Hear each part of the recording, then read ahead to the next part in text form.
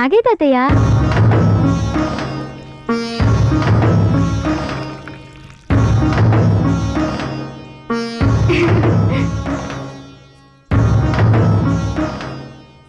అదేంటి తాతయ్య అలా తాగుతున్నావు? ఇది పరమ పవిత్రమైన ఆవు పంచితం తల్లి. ఈ గోపంచితం తాగితే ఏ చీడలు ఏ పీడలు దగ్గరికి రావు. ఇది సర్వరోగ నివారిణి సకల పాప సంహారిణి. మరి ఇంతకాలం చెప్పలేదేం తాతయ్య? ఎందుకమ్మా? నేను తాగుతాను? అమ్మా. అవును తాతయ్య శివపురాణాన్ని తాగించావు రామాయణాన్ని తాగించావు మరి ఈ గోపంచితాన్ని కూడా తాగించాలి. రేపటి నుంచి నేను కూడా రోజు గోపంచితం తాగుతాను. జగజ్జనని నువ్వు ఈ లోకంలో అవతరించిన కారణం నెరవేరే సమయం ఆసన్నమైంది.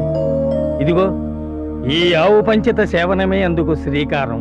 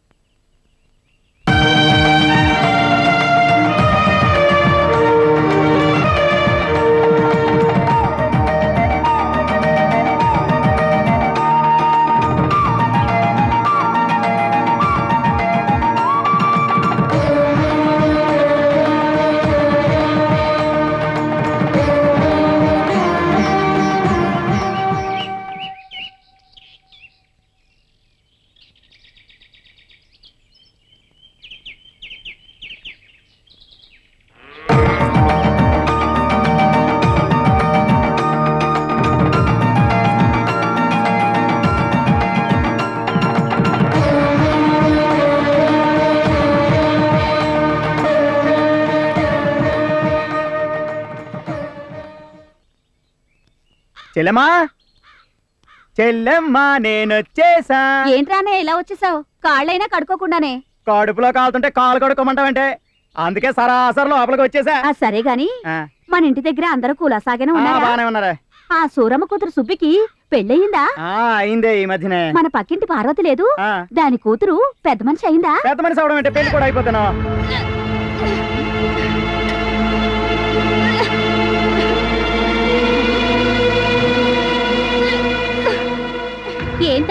ఎందుకలా కక్కుతున్నావు? కడుపంతా అదోలా ఉంది అదేం విడ్డూరమో కానీ చేతికి నోటికి క్షణం తీరకుండానిస్తారా? ఈ మహాతల్లికి ఇరవై నాలుగు గంటలు ఏదో ఒకటి తినిపిస్తూనే ఉంటారు. దాని తిండి సంగతి తర్వాత గానీ ముందు నా తిండి చూడండి పదండి.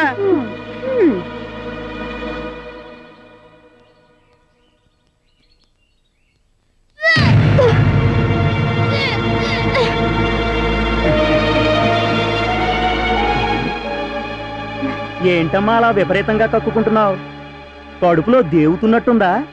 అవును. పొత్తి కడుపులో ఏదో తిప్పుతున్నట్టు. ఎన్నడూ ఎరగని కొత్త కొత్తగా వికారంగా ఉందా? అవును. అయితే ఏంటి? ఆహా ఏం లేదమ్మా. నీకు తల తిరుగుతున్నట్టుంది గాని నువ్వు పోయి విశ్రాంతి తీసుకో. తగ్గిపోద్ది.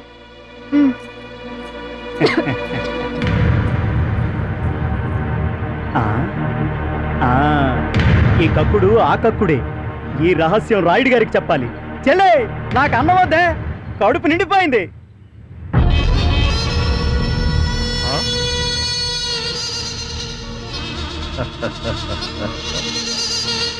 దండోరా ఏంట్రా?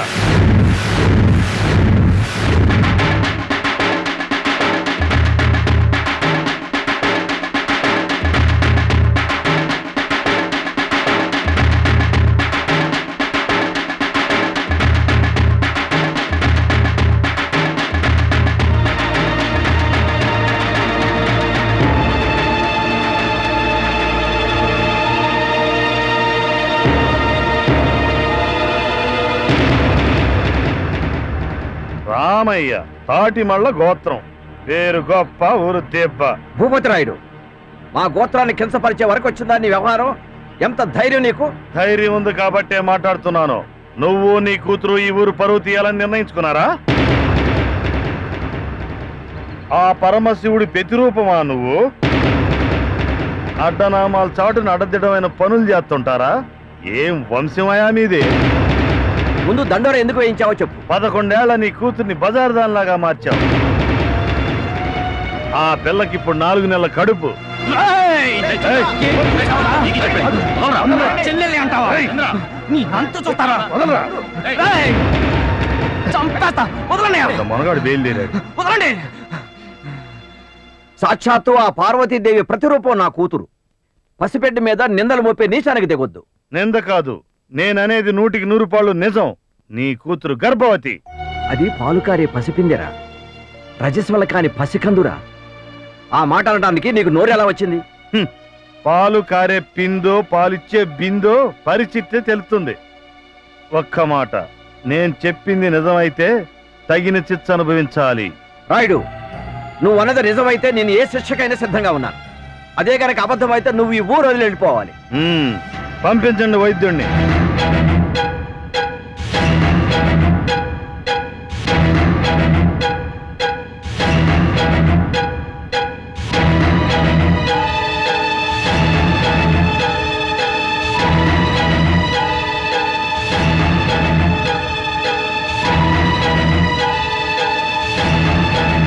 మిడిగుడ్లు వేసుకొని చూస్తావేమయ్యా? ఏమైందో చెప్పు. ఆ అమ్మాయికి ఇప్పుడు నాలుగో నెల.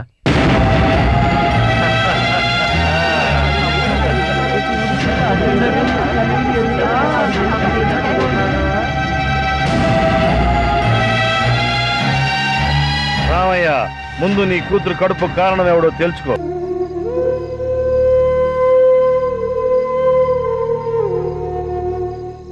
ఏంటి నాన్న?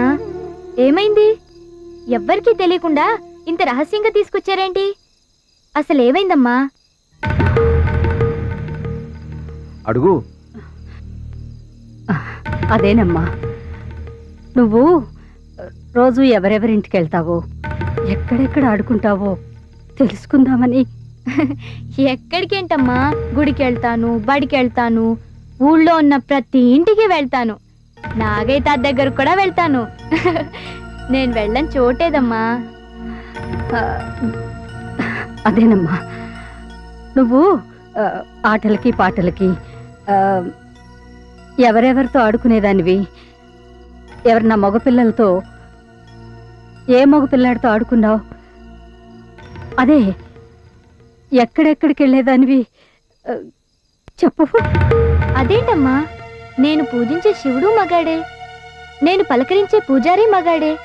నాతో తిరిగే నాగైతాత తాత మగాడే. వీళ్ళందరితో నేను ఆడతాను పాడతాను. అలా కాదమ్మా. ఇలా ఎందుకు జరిగింది? దీని కారకులు ఎవరు? ఏంటి నాన్న? నాకు అసలేం అర్థం కావడం లేదు. ఏమడుగుతామండి దాన్ని? ఆటలకి ఆకతాయితనానికి తేడా తెలియదు. మన పెళ్ళిలా చేసిందంటే నేను నమ్మను. అది తప్పు చేయదు. ఇదేదో మన కుటుంబానికి పట్టిన పేడ. మన దురదృష్టం. అమ్మా ఎందుకమ్మా ఏడుస్తున్నా?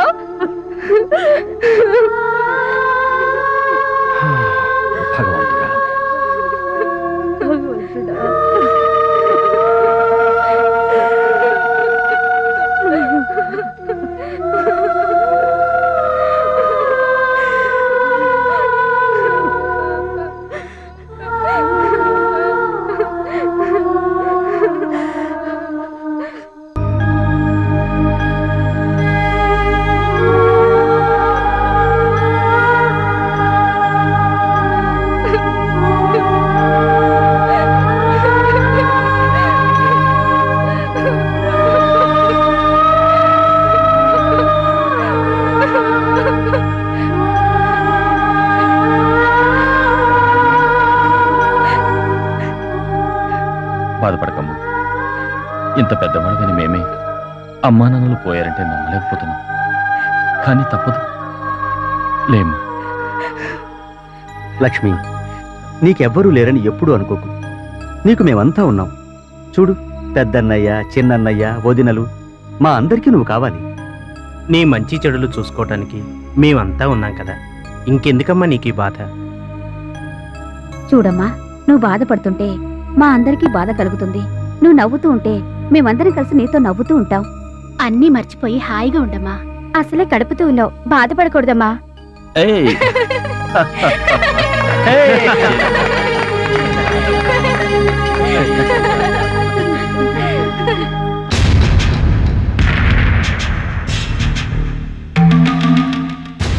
ఏంటక్క పాయసం గుమగుమలాడిపోతుంది ఎవరికి? ఇంకెవరికి? మన ముద్దుల మరదలుందిగా. దానికే. అలాగా. ఏంటి? ఈ ప్రేమంతా నిజమైందేనా? ప్రేమ గుడ్డ? దాన్ని గుట్టు చప్పుడు కాకుండా చంపేయటానికి ఇదొక ఎత్తు. అంటే? ఈ పాయసంలో విషం కలిపారమ్యా అది రాగానే తాగించేస్తాను. అయితే రాత్రి చెప్పిన మాటలన్నీ నిజం కాదన్నమాట. ఓసి పిచ్చిదానా ఇంకో గంటకి చూడు నీకే తెలుస్తుంది. భలే దానివే అక్క. ఈ మాత్రం దానికి ఇంత చెయ్యాలా? గంట దాకా ఆగటం ఎందుకు? అటు చూడండి. ఈ ఉరితాడు నేను ఎప్పుడో సిద్ధం చేశాను. ఆ పిల్లి ఇక్కడికి రాగానే మెడకి తాడేసి సప్పుని పైకి లాగాననుకో దెబ్బకు చచ్చి ఊరుకుంటుంది ఆ తర్వాత అవమానంతో మా ఆడపడు చూడేస్తుందని పొగలేడు ప్లేట్ చేయొచ్చు. పిచ్చి మొహల్లారా దీన్ని ఆడమేడం అంటారు. ఇంట్లో ఊరి తీసి దాన్ని చంపితే జనం మనల్ని చంపుతారు. అందుకని? ఇప్పుడు కావాల్సింది ఆవేశం కాదు ఆలోచన. ఓరి నా పిచ్చి బావలు మీరు పప్పలు అనుకున్నా గానీ మరీ ఇంత ఎర్రి పప్పలు అనుకోలేదు. ఒరే అన్నయ్య సరిగ్గా సమయానికి వచ్చావు. దాన్ని చంపే ఉపాయం ఏదన్నా చెప్పరా? చెబుతా. ఆలోచిస్తున్నా.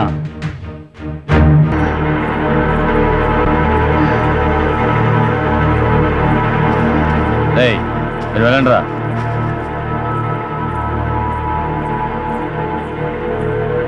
నేను రావడం ఆలస్యమైంది అన్నయ్య? లేదమ్మా రావాల్సిన వేళకే వచ్చావు.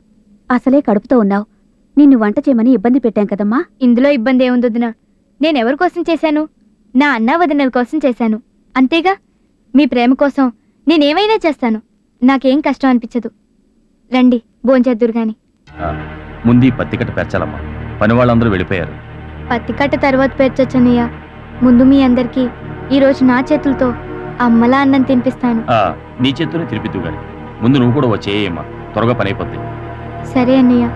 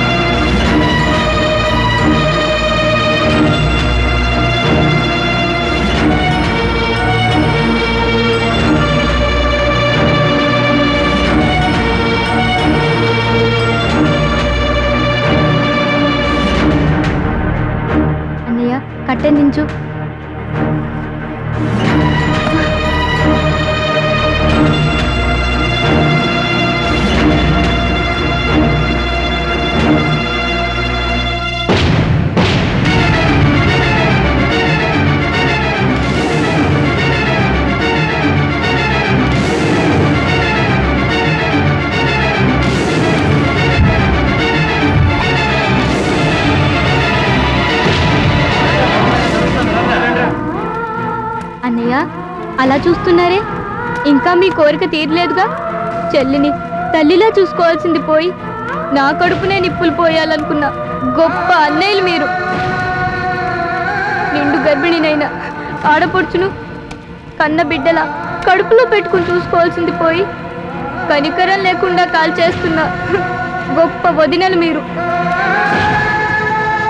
లోకుల చెప్పుడు మాటలు విని నా గురించి తప్పుగా అనుకుని మీ పరువు ప్రతిష్టల కోసం నన్ను చంపడానికి సిద్ధపడ్డప్పుడు మీ మాటలు విని నా దుస్థితి ఈ లోకంలో ఏ చెల్లికి రాకూడదని ఎంతగా బాధపడ్డానో మీకు తెలీదు.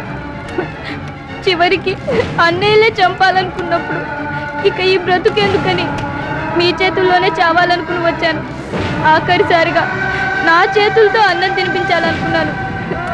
కానీ ఆ కోరిక తీరకముందే ముందే పెట్టారు మీ వంశం పరువు తీశాననే అపనింద కన్నా ఈ అగ్నికి ఆహుతి కావడమే నాకు ఆనందంగా ఉంది. ఇది మీరు నాకు విధించిన శిక్ష కాదు. నాకు నేనే విధించుకుంటున్న అగ్ని పరీక్ష. నిండు గర్భిణిని చెప్తున్నాను.